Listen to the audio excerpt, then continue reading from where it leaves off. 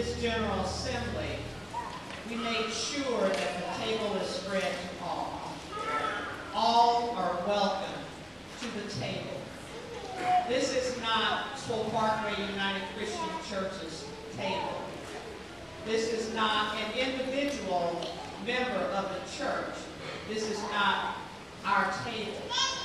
This table was spread before the disciples in the upper room for everyone, and all are welcome. Almighty and loving God, you have created us and redeemed us. Through the presence of your Holy Spirit, you sustain us in daily life.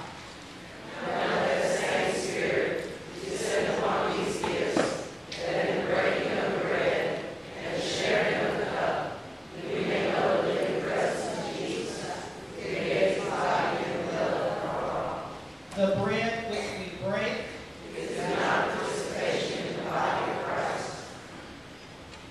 Yes, Jesus loves me.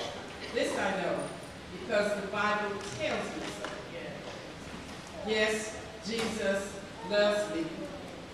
This I know, because he died to save our sinful soul.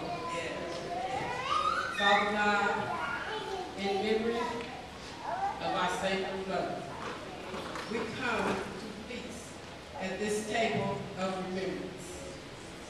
We ask that you break this bread that we're about to take as his disciple did so long ago.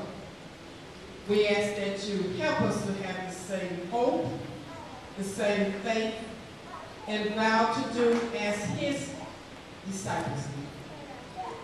For we owe as much to the Lord as they felt in his death. We ought to love, honor, and obey him as much as his disciples did. So bless us, Lord, this day as we break the bread with one another.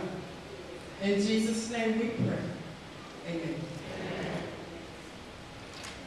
The cup which we share is in our participation in the blood of Christ.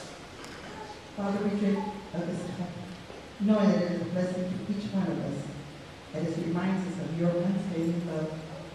And we thank you for your son Jesus and the sacrifice that he made redeemed.